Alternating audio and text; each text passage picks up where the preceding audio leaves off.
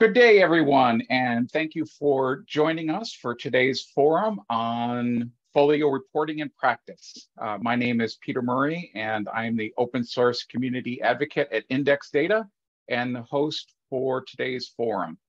This session is being recorded and will be posted to the Folio playlist on the Open Library Foundation YouTube channel.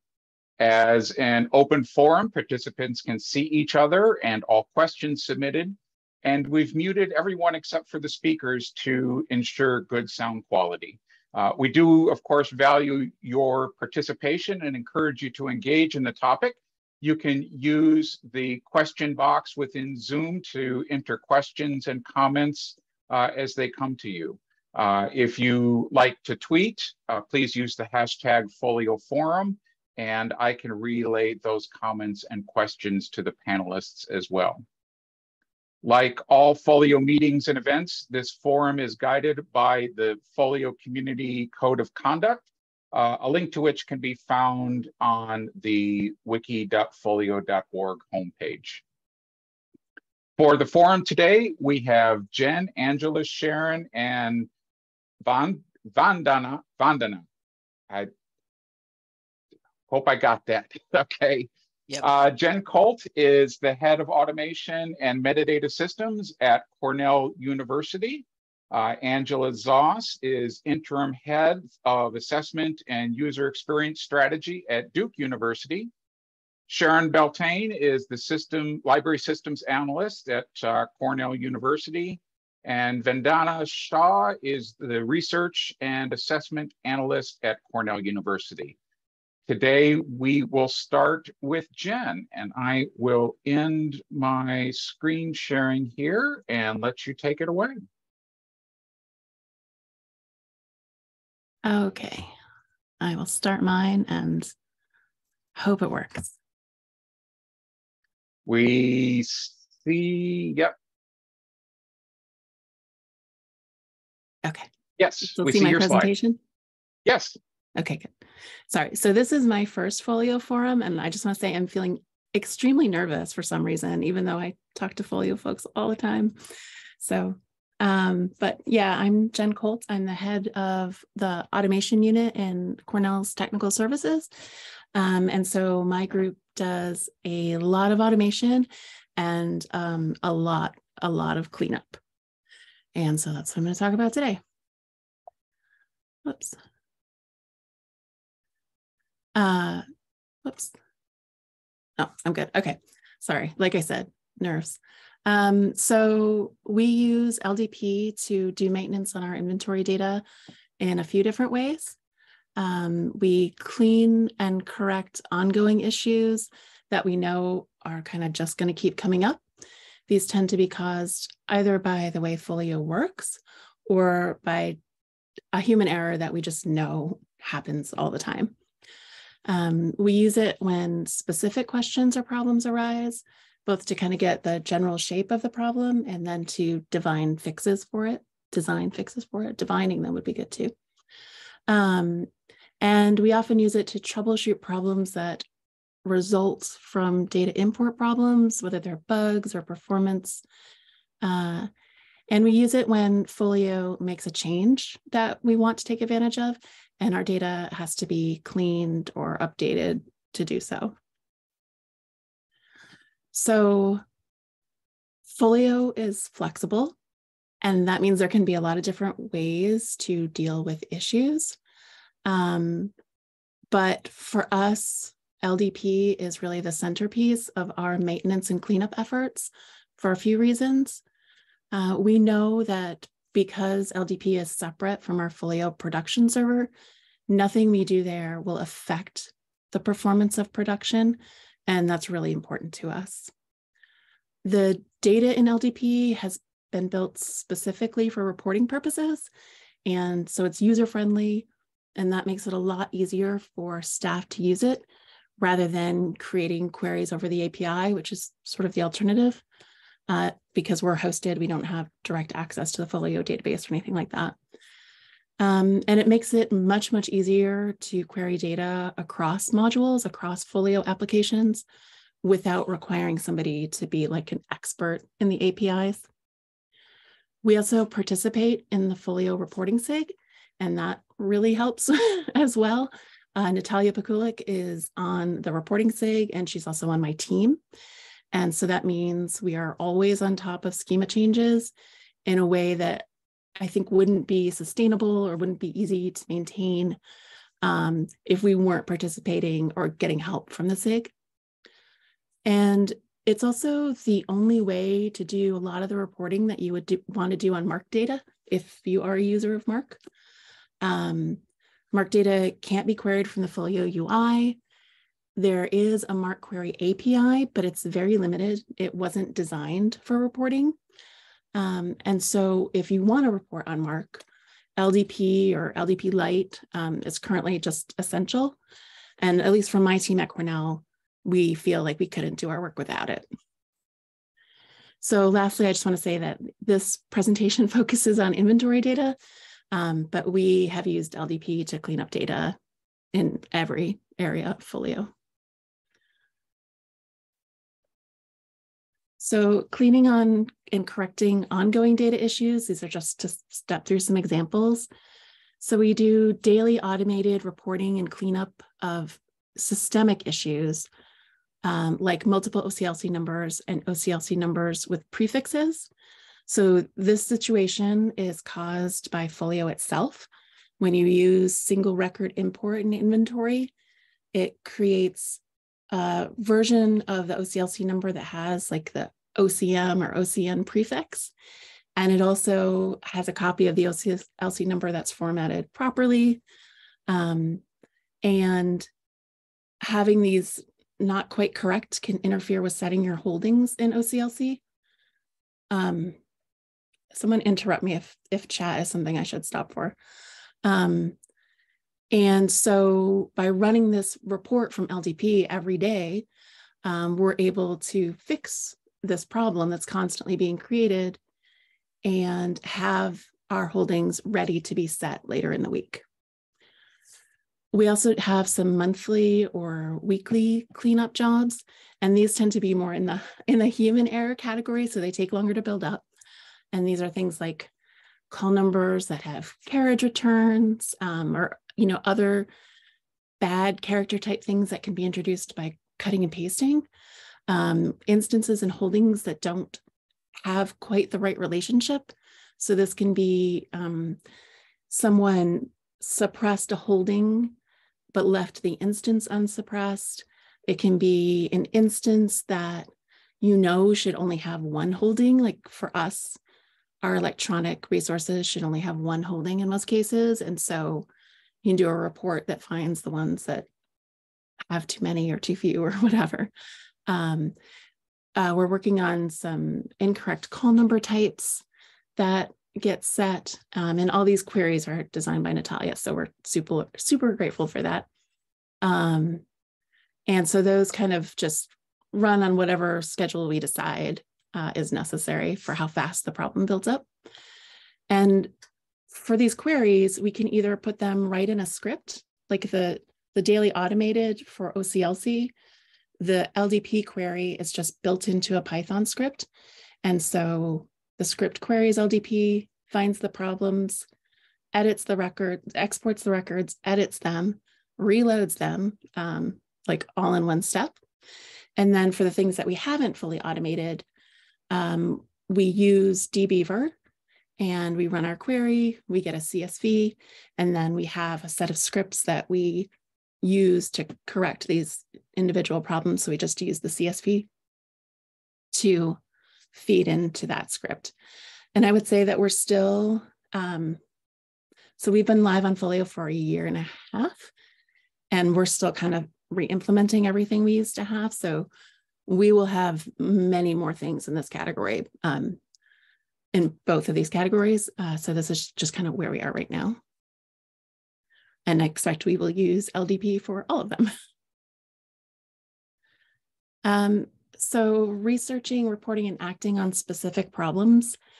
Um, so this is like someone sees something in the catalog and they go, oh no, how many times did we do that? Um, and they send me that question or somebody else on my team. And for a question like that, I can use LDP and like turn around a rough answer in like five minutes. Like, how many of these records are suppressed that shouldn't be, or how many records have this particular field in this particular way? Like, I can turn those around really quickly, which is nice because one of the first things you want to know is like, how bad is the problem? Somebody asked me a question the other day. I looked it up 450 records. Okay, not that big a problem. And then after we do that, we can use LDP to kind of sort their problem into two piles. Um, we use it to kind of create a pile of problems that we think we can probably fix with a script, um, and then create a separate, hopefully small, reasonable report that we can give them to review as a human. Um, because a lot of times, I mean, cataloging problems just require humans, like they require an expert to look at them, but they can't do that if there's 10,000 records. Uh, if we can say, you know, we fixed almost all of them, here's a small report for you and your team, that works a lot better. These kinds of problems and reports usually involve MARC, so they have to be done in LDP. Um, a lot of times you're looking for something that we've been doing for a while or a place where practice changed. Um, and so those problems are more than a year, year and a half old, which means the problems were made in MARC, at least if they're at the bib record level. Um, and so it's so we really have to use LDP for these. So just some recent things that we've done. Um, we've been helping to flip some subject headings. We've been reviewing some records that we are kind of trying to figure out. Uh, the records are in HathiTrust, but we withdrew them and they're suppressed. Should what should we do? How should these display? We've been working on uh, adding donor information to our bib records because that lets us display it in our catalog. And um, we also use it to like correct problems that we humans make in data import. Um, so somebody might import a set of records give them the wrong statistical code. Uh, and so LDP lets us go in the next day because ours is on a 24 hour delay, find the records they loaded, fix them, reload them. Um, so it's really useful for that. Again, touching on data import, um, and I'm so so this is really MARC centered, uh, just because we are still MARC centered. So I apologize if people are not. Um, so data import has some set of technical problems occurring at any given point in time. Uh, usually these are performance issues, but there can be other bugs relating to things like matching. And so LDP is really useful in mitigating those problems. Um, Christy Thomas at Chicago gave me a query that they use to query LDP before they ever load their records and data import to see how that load is going to go. And so this is usually about, you know, matching on identifiers and seeing what's in the database now, what would be trying to get into the database. And it kind of lets you see what's going to happen before you do something you regret, perhaps. Um, and then for us, we have really used LDP a lot to correct issues that arise when we do large data imports. So sometimes there can be like a timeout in the middle of the import, and then you end up with all these records in these weird different states.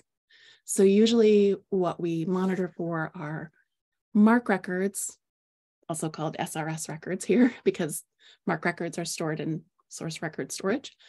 Um, so you can end up with MARC records that are not related to an instance, but are just sitting in your storage.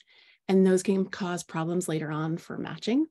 So we use LDP to identify those and get rid of them. Um, there can also be instances that have been attached to multiple MARC records. And when that happens, sometimes Quick MARC then won't open the record because it can't tell what record to open. And so you'll get an error when you try to do your editing. And so we use LDP to find those problems and fix them as well. Um, and then this is sort of a happier slide. Sometimes new features get added to Folio that are really great that we want to use. Um, but for, before we can do that, we use LDP to identify and report on the kind of the quality of the existing data. Because um, if you're going to move data around. That may or may not be a good time to also do some correction. You might not need to actually move all of it. Um, you might want to identify a subset. So LDP is um, really important in designing these kinds of sort of mini migrations to use new parts of Folio. So uh, right now, we are working on sort of a big picture of getting our administrative data out of MARC and into the instance. We didn't have the instance in Voyager, now we do. And some of that data we think just, just shouldn't be sitting on the bib record, it should be in that instance administrative record. Uh, and we're also moving data that we had put in a folio field that existed at the time, uh, but that wasn't quite right. So now we were putting some data on our holdings that really should be in an administrative note. And so we're working on a project to move that data over. So those are my slides, um, and I look forward to talking about this more later. Thanks. Great. Uh, we did have a couple questions that came in. Okay. Um, I'm, I'm going to say uh, if uh, uh I uh, read a question that is going to be covered by one of the other uh, panelists, please just jump in and say it's coming later. Um, but the, the, the first is, are these Cornell scripts that you're discussing shared anywhere or, or not at this point? So I have some that I've shared. I have a Git repository where I'm putting Folio snippets. Um, we did make, so there's, so I am in the learning APIs channel in the Folio Slack. And so sometimes I pop up there. Sometimes there's people who have much better answers than I do, so I don't say anything. Um, and then we also have a metadata scripting channel for folks that wanted to specifically talk about metadata stuff, kind of just um, a smaller audience because learning APIs is kind of big at this point. So mm. yeah. Mm. So yes, and if I talked about something that you want, just tell me and I'll point you at it or post it if I haven't yet. Great. Um, also, uh, your workflows seem to be very uh, ETL intensive, uh, extract, transform, and load. Uh, do you run into file size problems um, with data import? Yes, um, we mitigate that by cutting our imports into um, sets of 5,000, and then we can generally bring in four sets of 5,000 at a time. So we're just kind of working around that at the moment. Okay, great. I think that is it. Um, next up, I've forgotten the order. I'll go next. Great. I'll break up our um, our Cornell presenters. So hi everyone. Um, I'm going to share my screen and to go into slideshow mode. And can I get a thumbs up if everybody's seeing my slides? We can see your slides. Wonderful. I appreciate it. Okay, great to see everybody. Hi. So I'm Angela Zoss. I'm the interim head of assessment and user experience strategy at Duke University Libraries. I'm also the co-convener of the Folio Reporting SIG, along with Sharon Beltaine, who you will hear from soon. And um, and I'm uh, presenting today based on some of our experiences in the um, convener role uh, in the reporting SIG. So um, here are some of the things that the reporting SIG has been doing to help new implementers get up and running with Folio reporting. Um, I love Jen's uh, really boots on the ground approach to how to use um, an LDP database um, and um, LDP MARC to uh, to do reporting for certain areas. Um, this kind of showcasing of how implementers are um, are using Folio data is a core part of the mission of the Folio Reporting SIG, which uh, we spent some time over the last year writing up. Um, so I'll just share that the Reporting SIG um, will examine the reporting needs of institutions, offer advice on the design of Folio data models and reporting solutions, contribute time to the development of sample queries, provide documentation and training on topics related to folio reporting, and offer a space for subject matter experts and technical experts to engage in discussion and collaboration. Um, what is especially relevant here today, I think, is this um, clause in the middle on providing documentation and training on topics related to folio reporting. Um, that's just been a real passion of the reporting SIG over the last couple of years, is um, trying to build um, some kind of on ramp for people who are just getting started with Folio and want to know all the various ways of accessing data and the different kinds of solutions people have found effective, um, and how to feed that back into the community to try to um, create and support tools that are working well for reporting amongst uh, Folio implementers. Uh, one of the types of ways that we've approached providing um, documentation and training on these topics is to just throw them into our meetings. So, um, so we've got uh, different projects that we've um, taken on to try to uh, help our new implementers. That includes, um, as mentioned in the in the mission, there um, our um, work toward building a query repository. We call it Folio Analytics, and um, these are queries designed to work with the uh, LDP1 and MetaDB software databases that are developed by Index Data. You've heard about Cornell's use of LDP, um, the LDP database to supplement their reporting through APIs. And um, we've got a query repository that helps users of those tools um, get up and running even faster. Um, we do have um, documentation pages on reporting that we maintain to help the end user community understand the range of um, of options, especially with the library data platform uh, software applications, um, but also just generally how to interact with Folio data as from a reporting context. And then finally, we're in the process of um, an initiative that I think we're all really excited about, which is to um, help supplement existing documentation about Folio data models. So a lot of people come to Folio and um, they may learn how to interact with applications and the interface, but maybe they have a little bit less exposure to what kinds of data that application is creating on the back end and what, what they're going to find if they start to query that data either, through the APIs or through a transformative reporting tool like Library Data Platform or MetaDB. Um, so we're we're building out some of that so people who um, need to learn and become experts in different kinds of folio data have a have a really good starting point. We also spend some of our meeting time just taking just taking explorations, taking adventures through different kinds of tools that are relevant for both generalized reporting um, and also folio specific reporting. So, um, so some of the topics that we've covered in our meetings, um, reporting SIG meetings happen um, on alternating Mondays and Thursdays. And we've tended to use the Thursday meetings for training. So think about training Thursdays if you want to come visit uh, Reporting SIG. We've covered topics like the in, an intro to version control with Git and GitHub.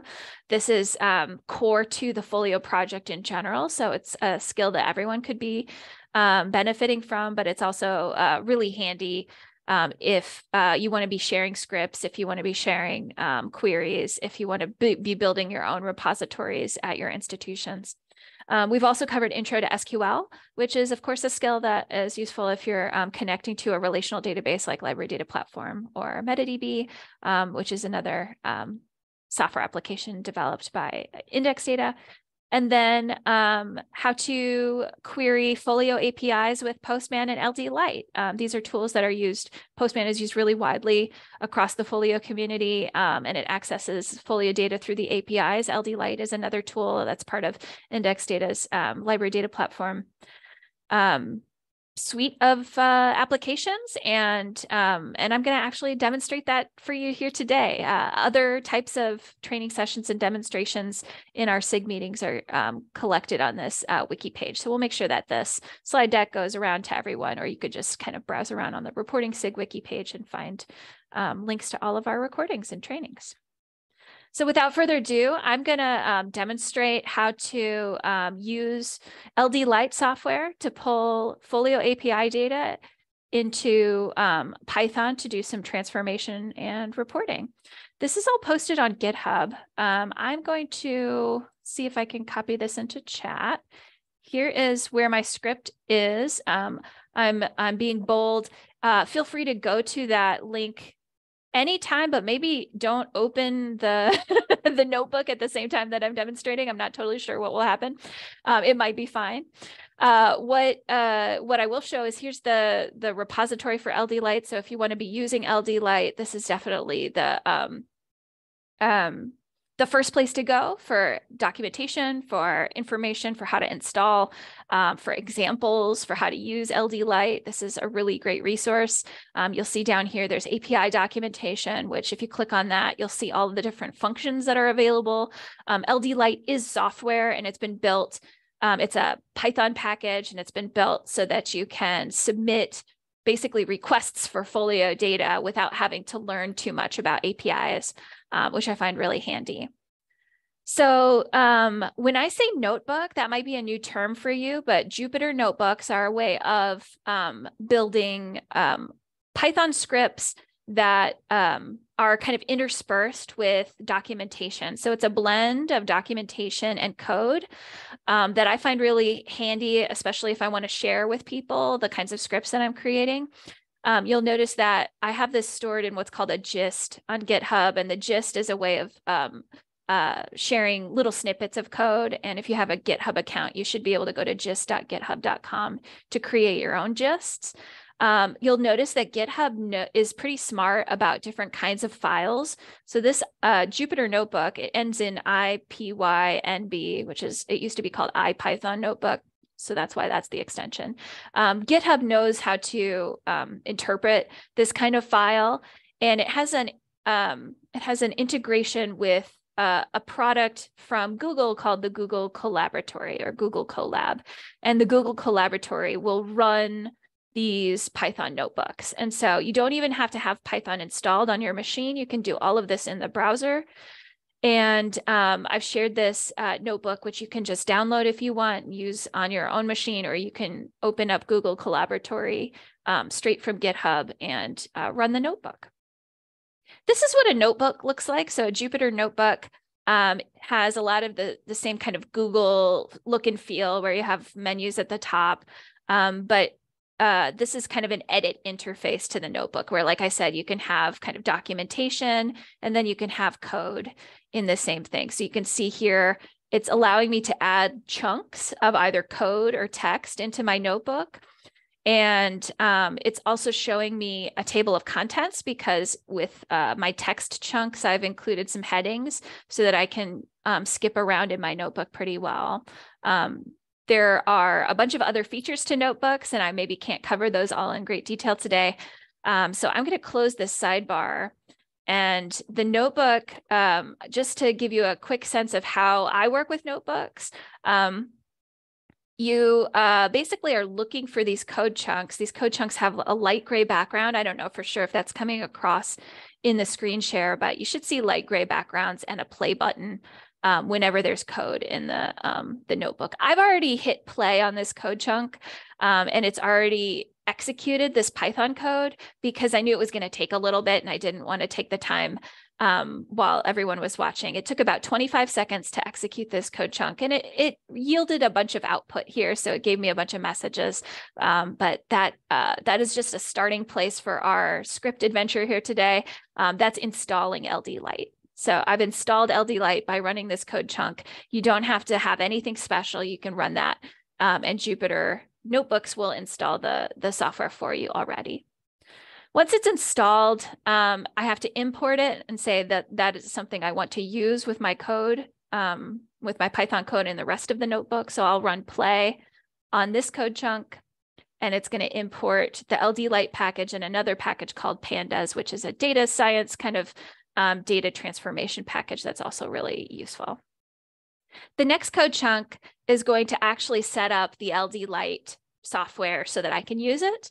Um, what the LD Lite software does is it creates a little database that um, once it pulls data out of the Folio APIs, it can put data into that database um, so that I can query it a little bit more easily. Essentially, it is creating um, a light version of the same kinds of databases we're talking about um, that Cornell is using, like the LDP or that um, the next generation of that, which is called MetaDB.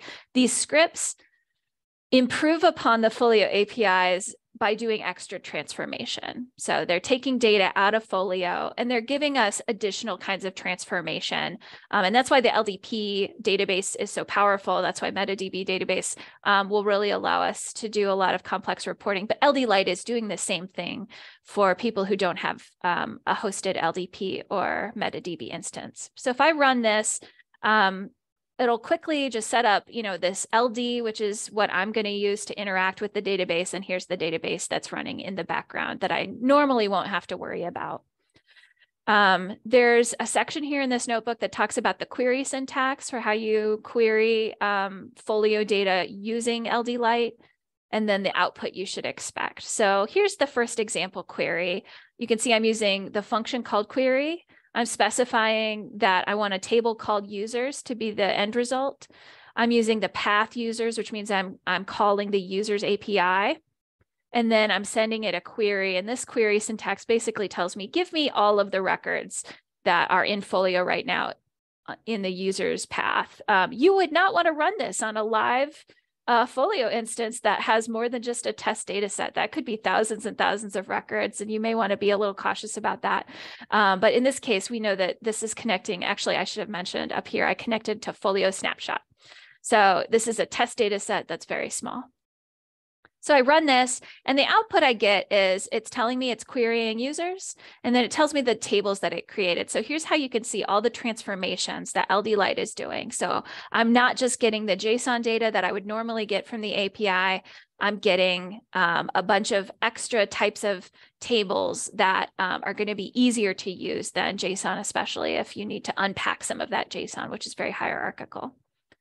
Um, once you want to access the query results, you're also going to call the LD. You're going to call the, the, the LD Lite um, function called select.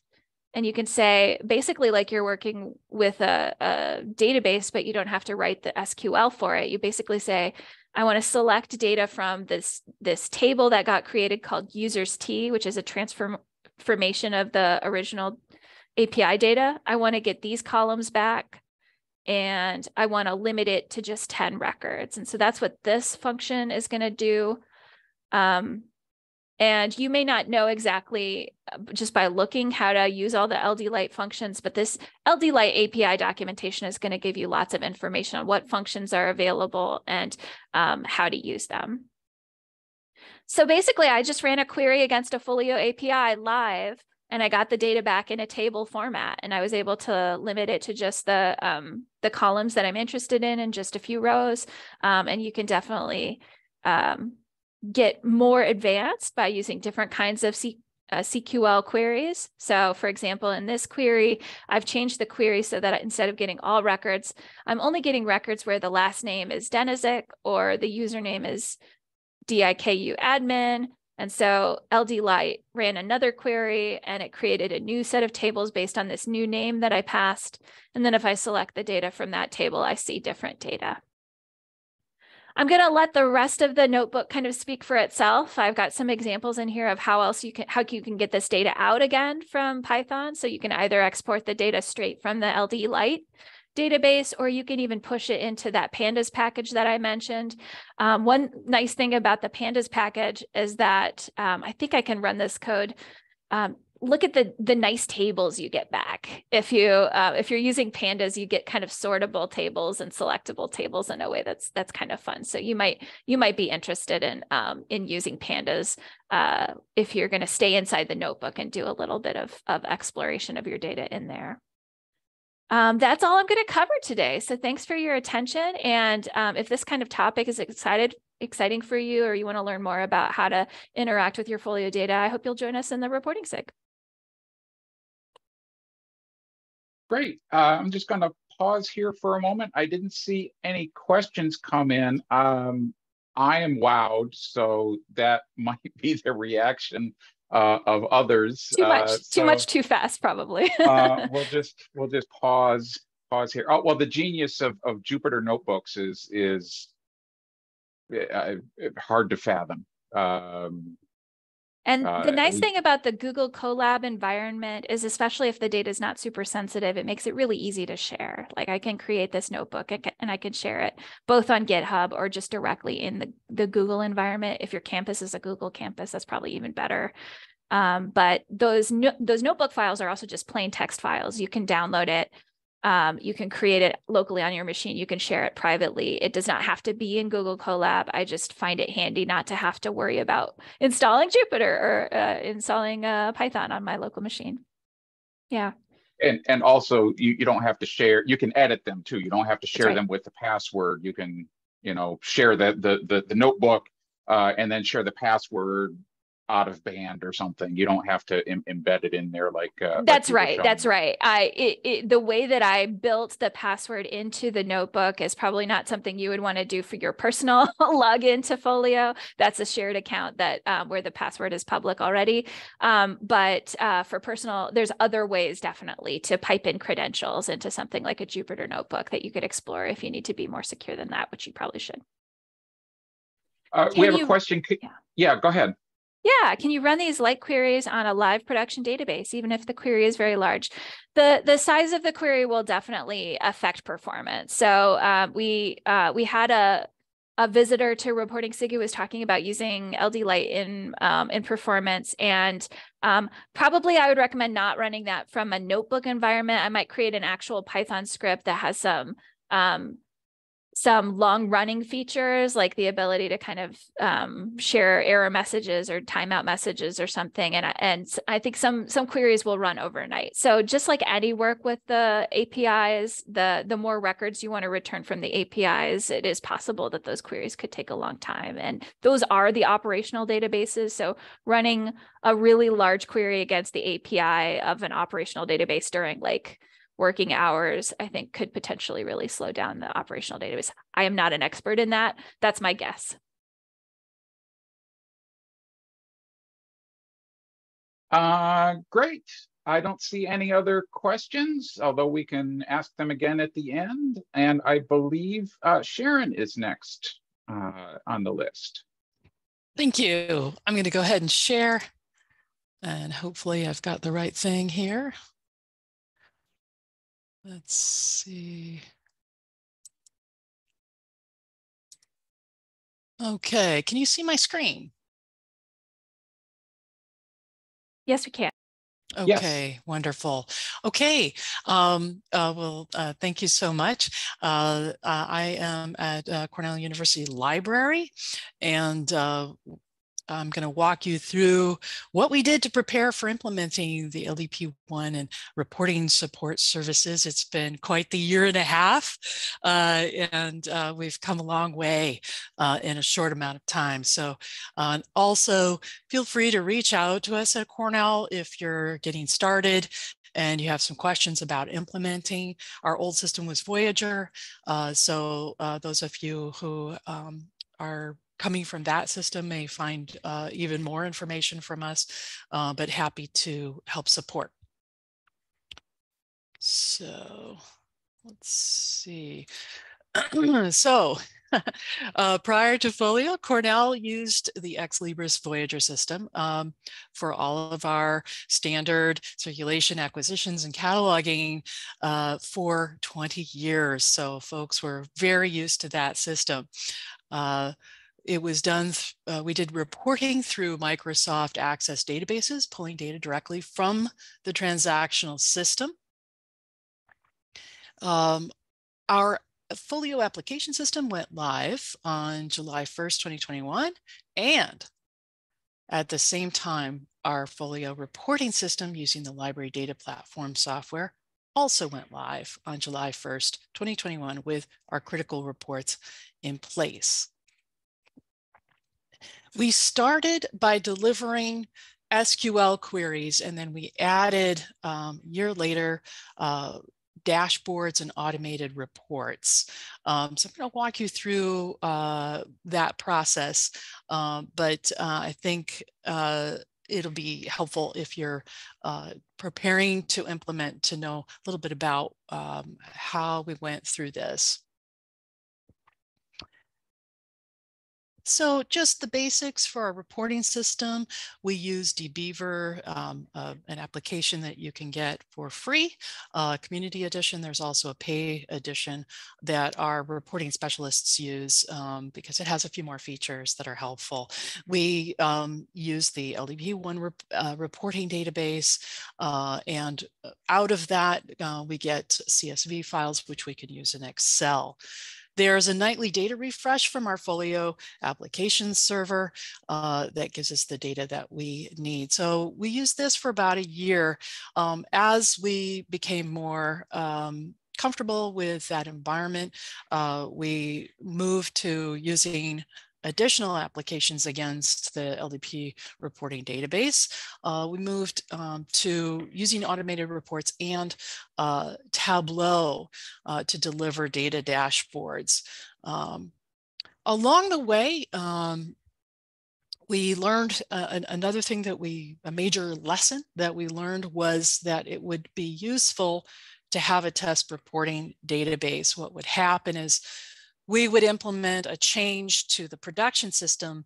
And if there were problems with that change, uh, we had to quickly recover in the production environment. So we uh, learned that having a second environment was really advantageous. So if you are able to do that, I recommend it. So what that means is that if there are software updates, uh, those are applied first to our test reporting database. And we spend a lot of time testing those changes to make sure that um, our queries will run, our dashboards will run, our automated reports will run, um, and other processes.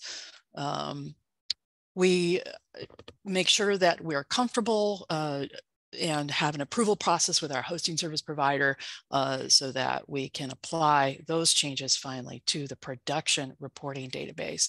This structure has really helped us to minimize any uh, impacts to reporting changes um, on our users. Uh, so if you're able to do that, uh, that's very helpful. So we have more than 100 users at uh, the Cornell Library and um, initially uh, our report developers needed to learn how to use SQL. Um, so that was a big uh, change for us. And um, uh, you know, we had um, uh, quite a bit of time with training and learning from each other. Um, the reaction to reporting with Folio was mixed. Uh, initially, depending on people's comfort with using SQL to get data. What we did we uh, created uh, canned reports for everyone uh, to run and we asked our users to change the parameters say you know library item type that sort of thing. That was hard uh, for folks to uh, a lot of folks not everyone um, to look at code manipulate it that sort of thing. So um, that worked uh, initially, but our users really wanted something a little bit easier to use. Um, our more advanced users were fine with it and they liked being able to get in and run SQL queries themselves. Um, and so uh, really depends on your user experience level, uh, who's going to be comfortable with what kind of tool. Uh, many of our users really prefer a user-friendly intuitive interface to library data uh, like Tableau dashboards. And then we have automated reports. They just all they have to do is go to a box drive folder and pick up their Excel files. So uh, these are services that we were able to continually improve upon um, as we rolled out uh, the new folio reporting services uh, to the Cornell community, to Cornell Library uh, community. Um, another thing that we did uh, was we set up a GitHub report repository um, to store all of our queries against uh, Folio. And um, each query has been named with the standard conventions and has documentation to describe what the query does. Keeping your code in a central location that is easy for people to access helps users find and run queries easily, and it provides examples for report developers to see when they're starting a new query. Um, also very helpful to keep all of your code in one place when you're making universal changes for new or changed data fields. Updating queries or preparing for transitions to new platforms like moving all your code from the LDP1 format to MetaDB format, which we were are working toward uh, in this year. Uh, so uh, to start our process for moving people into a whole new reporting paradigm, um, we identified, documented, and prioritized 100 uh, report requirements from different functional areas of the library, like circulation, finance, cataloging. The queries for critical reports were drafted prior to go live and tested in Folio project test instances. Uh, so those were very helpful for us. Uh, so we were able to do quick drafts uh, for our critical reports. Once we were uh, live with the LDP production system, those draft queries could be refined and expanded to include more data points. Also, um, many queries required Cornell only data to be understood fully and developed uh, according to our users' needs. So uh, building our reporting team was critical to our success. Uh, it really helped us to have a reporting team with representatives from key data areas of the library to help clarify report requirements and business needs for implementation. Those folks also gained a new skill set, um, learning how to use SQL in order to pull data from our reporting database uh, and um, also learning how to use Tableau for our data dashboard. So um, it's really good to have folks from all over the library if you can work on your team initially. We have folks from accounting, acquisitions, assessment, cataloging, circulation, uh, automation, uh, and uh, library technical uh, services and different IT systems areas. It uh, helped us also to set up a support structure for uh, reporting at uh, the Cornell Library. Um, we created a website with instructions for using reporting services and technical documentation uh, so people could set things up, see samples, uh, get their questions answered. Um, we are continuously developing that documentation um, as new data delivery services are um, uh, created, added. Training is also an important uh, part of doing your implementation. All reporting users uh, trained on using the reporting tools. Specialized training is offered for different functional areas, and we have continuous training um, in a reporting users group uh, that we have. So those who really want to dig in and uh, learn how to manipulate data in our reporting database uh, have that avenue. Uh, we also have um, a help ticket tracking system. Um, so people can ask us questions at any time uh, and ask for additional reports, um, ask questions about data interpretation, etc. We in our website, we created a one-stop shop for help. So it's real easy. People just go to the folio reporting website and they get uh, our, our goal is to provide them with uh, links to all the information that they need in one place. Uh, so this has been very helpful for streamlining uh, access to our services. Some of the challenges um, that we had along the way the bleeding edge of technology. It can be hard uh, to be using a, an entirely new reporting database infrastructure, uh, an entirely new uh, application infrastructure, the two of those together, uh, dealing with constantly evolving software and being able to anticipate and accommodate those changes. Um, library staff have been, you know, had been working in the same system for 20 years. So they had well-honed skills in our old system. So there was a lot of work to do to uh, train folks in using the new system. And of course, uh, it was hard. Uh, so everybody um, had to work hard to learn how to use, get new skills in our new system. Uh, so uh, building a new skill set uh, for reporting is kind of a double-edged sword. Um, it's hard to learn SQL initially uh, for folks to get in there and, and build their own reports. Um, and that was a, a steep learning curve um, for folks but it's really a great skill to have, um, uh, especially in libraries where you're working with a lot of data. So uh, on the other end of things, I think folks who've had to dig in and really uh, learn how to do the reporting have appreciated the opportunity to learn this, uh, gain this new skill set. So having a small team to develop the skill set to deliver the reports and support them has been very advantageous for us. Uh, saving your legacy system data, if you can, is wonderful. We have uh, created a whole database in Postgres of our uh, data from our old system, our Voyager system, and we brought those tables into our LDP. And now we can report on data that's prior to our implementation date. Um, so it's very advantageous. If you can do that, uh, it is uh, really helpful uh, it means our trend reporting can go uh, back into the past a little bit more. Another challenge has been um, working with day old data. So with our transactional system, people had access to um, any data that was immediately updated. Um, so it, it's been a slight challenge. Most of our reports don't require you know, immediate data. So, uh, but it's just been the reports that where people needed to have instantaneous data has been a little bit more challenging. Uh, this will change with MetaDB uh, because it's using that streaming and providing uh, live updates to data. So um, this is uh, something that will, will change.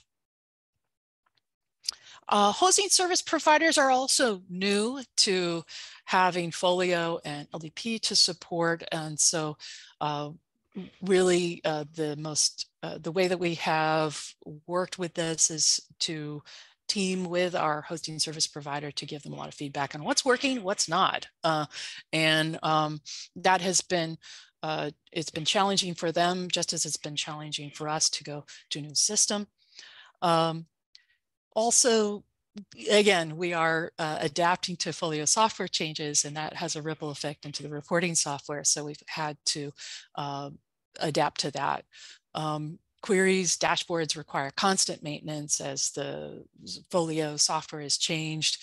Uh, for instance, new fields for uh, different uh, notes, uh, new data types, um, all have to be accommodated by rewriting, um, revising our, our scripts many benefits uh, to moving to the new reporting system. Um, it's designed by Folio project participants. So here you have this wonderful international community of folks uh, putting their brains to what's going to be uh, really useful in a new reporting system. Um, we're helping to libraries move to data warehousing for data analytics. And um, that's a really uh, good in infrastructure setup uh, for any kind of environment where you have large amounts of data uh, to work with. So it takes the pressure off that transactional system. There are uh, many different reporting applications that can be used against um, the LDP and MetaDB environment. So having that flexibility has been very helpful for us. Uh, the LDP supports several data intensive areas of the library, uh, reporting itself, automation, uh, data export, HathiTrust, interlibrary loan, working with vendors, all that is supportive. The LDP allows the use of data sets beyond the main library system. Uh, having our legacy data uh, has been very helpful for us. Uh, it is um, challenging to convert that data, um, but uh, if you are able to do it, it is uh, very helpful to have that available. Um, the reporting community extends beyond the walls of our own libraries. And so we get lots of growth and new ideas, new learning, great opportunities uh, to work with folks from all over the world to develop our skills and uh, technologies together. So uh, it's been a wonderful opportunity for us uh, in that regard. Yeah. And so if, are there any questions?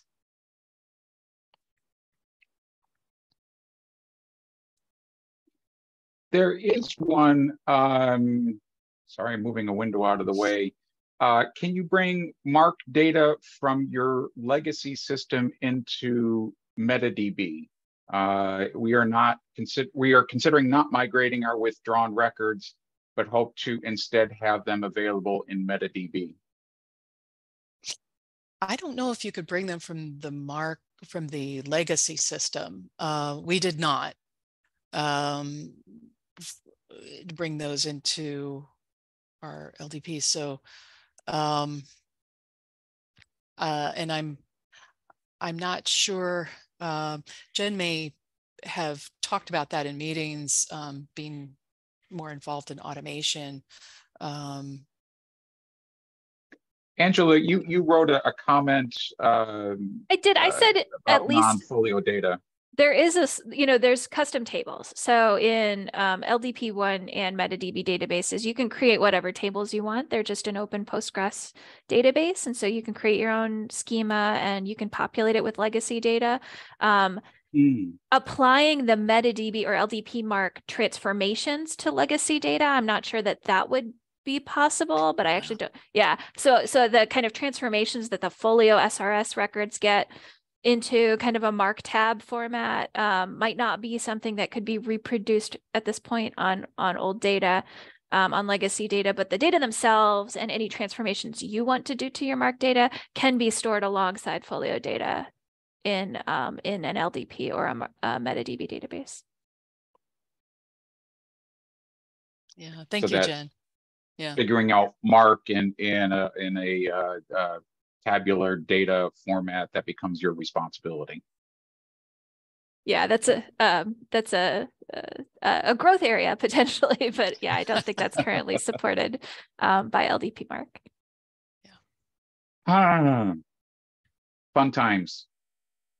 Uh, I don't see any other questions. Uh, fourth here on the list is uh, Vandana. Um, I'm getting better at that, I hope. Uh, take it away. Hi, can you all see my screen? Can see your screen and can hear you, yes. Okay, great. So I'm Vandana Shah, Research and Assessment Analyst at Cornell University Library. And this is just a quick overview of Cornell's experience with Tableau dashboards using LDP data. I'll show you the whys and the hows of Tableau for Cornell, and then mainly just demo some of the dashboards that are currently in use. If I can get this to move, that would be good. Okay, so why why did we decide to go the Tableau route? Um, Tableau is a popular visual analytics platform, and it is well supported for the most part. Uh, Tableau dashboards are also a means of making data instantly and easily available for staff. As Sharon mentioned, not all our staff are particularly thrilled with having to learn SQL and new ways to access data. So Tableau dashboards give them what they need. You know, the learning curve pretty much for getting your data from Tableau is zero over here. Um, the learning curve for people who create dashboards is not zero, but if you want to get your data out of created dashboards, that is really easy. Also, the dashboards are interactive. Um, I just put up a couple of screenshots here of Cornell dashboards. Uh, they have different kinds of filters to them that you can put on there. And so people can parse out their data. And they can also download these data into um, Excel or PDF formats. Tableau supports many different types of data sources. It's pretty easy to connect to different sources. So you can connect to um, local files, and you can also connect to um, data warehouses or um, to servers. And also you can have multiple data connections in one dashboard, in one view. So you can have a local file data from the local file and also from your server or from wherever else you want your data. So here is using Tableau with LDP1. So it's pretty straightforward to connect to the LDP using Tableau's Postgres connector. You just need to have um, LDP1 host permissions and authentication. That's about it. So once you connect Tableau to the LDP uh, data, there are two ways of bringing in data. The one way is you just bring in all the data tables that you have, and then you create table joins and different things within the Tableau environment. The other way is to embed SQL queries into Tableau and only pull up the required data fields. Now, given the complexity of Tableau or of folio data, just given how many tables there are and the huge amounts of, of data in there, for the most part at Cornell, for our dashboards, we've gone the route of embedding SQL queries and only pulling out what we need for a specific view. And the other thing that's really useful is that multiple queries can be embedded into one dashboard. When I'll show you a dashboard, I'll explain more clearly what I mean. Um, a little bit more about using Tableau with LDP is um, over here, I'd like to acknowledge the role of the reporting SIG and of, Folio Analytics. I think Angela and Sharon have both mentioned that. Uh, the Folio Analytics, the GitHub repository. So these the in this repository, we have original queries that were co-written and tested by members of the reporting SIG. So early on, as Sharon mentioned, before we went the dashboard route, we had adapted several of these general queries for Cornell. And then we started writing a lot of our own queries and 100 is the magic number. I think currently we have almost 100 Cornell specific queries and we're adding to these every week. So we use these customized queries, the Cornell customized queries to create dashboards for Tableau desktop. And these are then uploaded to the Cornell Tableau server. And here I'd like to mention that your institution doesn't really need to have a Tableau server. There's different ways of making dashboards available to, to viewers. So we initially set up the Tableau dashboards with live connections to the LDP. So that meant that anytime somebody was looking at a dashboard, they would be hitting the LDP. So in cases of complex queries where you know you have a large amount of data involved, oops, where did I jump to that? Sorry. uh, sorry about that. And I here we are, uh, where we have you know a large amount of data involved, we decided it was easier to go the extract route. And this is now the Tableau functionality where you can create data extracts and these are refreshed once a day. So when people access a dashboard, they're not hitting the LDP directly. One big thing that we can do over here, and this is something that was important for Cornell, is that each dashboard can be given its own set of user permissions. So for example, we have finance dashboards and only the finance and budget office can view these dashboards. We have selector dashboards that are only accessible to selectors and related staff. And then we have all staff dashboards that all staff can view. And before I do some demos, I just wanted to quickly mention cons or challenges here. Tableau licensing to create dashboards is expensive. It's not expensive to view. That's pretty much a free service, but to actually create them through Tableau desktop, that can be expensive.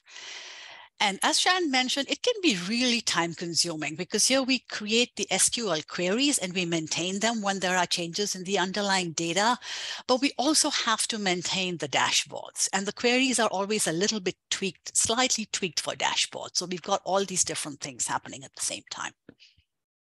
And I'm just going to do a couple of quick demos here of our dashboards. Okay. So as I mentioned, we have different types of dashboards, and I'm not going to demo the selector dashboards, but I wanted to show you all the different types we have. These selector dashboards are used by selectors pretty much all the time. Like we have their fund details or their expenditures, approved invoices, and this is how selectors keep a track of a lot of their monies and their items. Um, we have all staff dashboards over here, and these I can show you quickly. So um, these are used for different purposes. They are used by circulation staff right now, and we're in the process of creating more dashboards. The very first one, physical item circulation counts, this is used by, um, this is also used for annual data reporting. So here we are, as you can see this dashboard. So this one is a count of loans and renewals over here. So here we've hard coded a fiscal year. So people can choose any one fiscal year they want, but they cannot have data from both because that would be a little misleading here. We have different filters here. Oh, okay that needed to refresh itself. We have a different filters here for, let's say, patron group name. And let's say we want to leave out borrow direct. So these are drop down filters. You can just click away and it's going to remove the borrow direct um, loans and counts from here. We can have collection types. We can have material type names, and maybe we don't want to have any computer files, and we can click out of those. And a library name is also very useful to have. Um, Tableau has all these nice little gizmos, so we can have this little hover over here for data and notes because you don't want to include a lot of text into the main dashboard. So you can just display any important text this way. And we also discovered that when we have a lot of filters going on here, it's just easier for people to refresh them all at once. So clicking on this, we can just get all our filters refreshed and people come back to right where they started over here. So when I was mentioning you can have multiple queries on one dashboard, underlying this one is a loans and renewals query. And then connected with that, this is you know kind of connected information that people want to see is, for example, a count of filled requests of patrons. These are filled patron requests. This is a separate query. And both these are put into the same dashboard over here. So over here, this is by pickup service point. Um, you know, they look up whether it was contactless pickup during the pandemic or Circ desk pickup. And um, further details, all of these can be downloaded. Now I'm trying to get to the, the next dashboard if I can over here. Okay, this is the circulation transactions um, dashboard over here. Uh, this starts off with just giving an overview of circulation transactions. And here we're talking only of check-ins and checkouts, for example. Um, some of this information is used to, to, sort of determine staffing. So in all these related um, views over here, over here, for example, we have transactions. Oh dear, sorry about that. I was kind of worried something like this might happen at one point. Where has this brought me? okay, people, I'm going to try and get us back to where we were. Okay.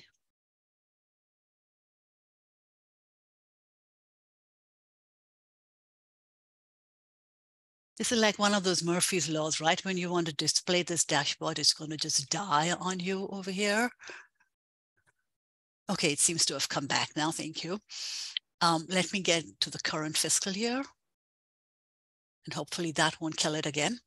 Okay, so this is the overview. And for, let's say for staffing purposes, let's say we want to see transactions by time of day over here.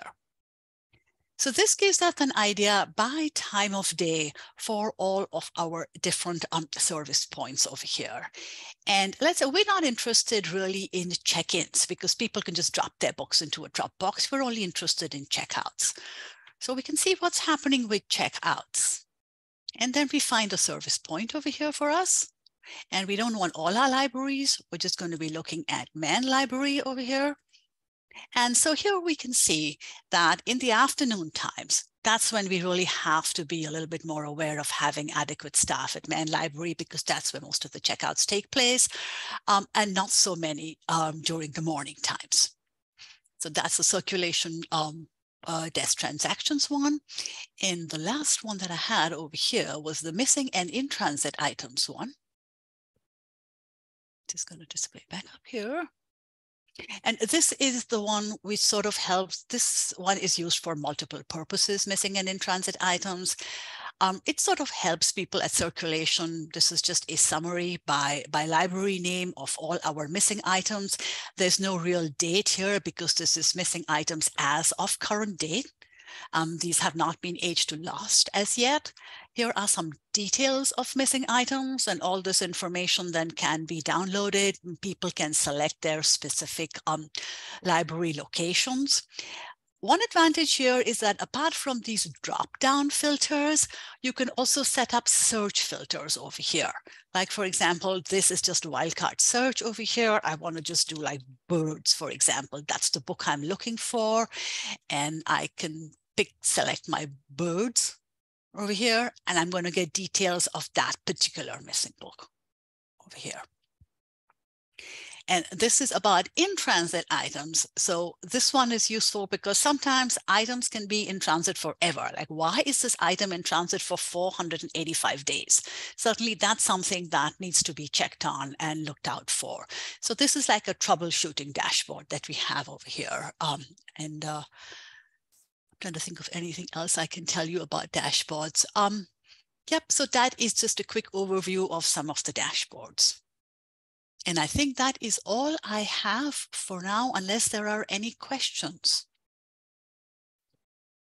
I don't see any questions yet, but you're getting congratulations for running a live demo and then recovering nicely.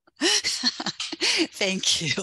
I sort of thought that was going to happen, but there's no other way to show dashboards apart from doing a live demo. So yeah. thank you for your yeah. patience, everyone. uh, and it's it's I don't often get to see Tableau. That's uh, that's nice to see the the the power that that uh, it has to do uh, the things like that. It's it's definitely been very useful for our selectors, um, you know, especially when it comes to their funds and their budgets. And I'm sorry I couldn't show you those, but uh, those I think are the ones that are most used. just going to pause here for another moment uh, to see if there are any questions that are being typed. And let me just check Twitter as well one more time. Okay, nothing there, nothing in the questions. Okay, I think this concludes today's forum on folio reporting and practice. Uh, the recording for this forum will be posted shortly to the folio playlist on YouTube. Uh, and you can find that at youtube.com slash open library foundation, all one word. If you have any feedback on today's forum or have an idea for a future forum, uh, please contact the forum facilitators. Our contact information is on the wiki page, uh, wiki.folio.org slash display slash facilitators. Uh, I see the congratulations and the thank yous uh, rolling in. Uh, thank you to Jen, Angela, Sharon, and uh, Vandana. Uh, and thank you to everyone who participated in today's event. Have a great rest of your day. Thank you, Peter. Thank you. Mm-hmm.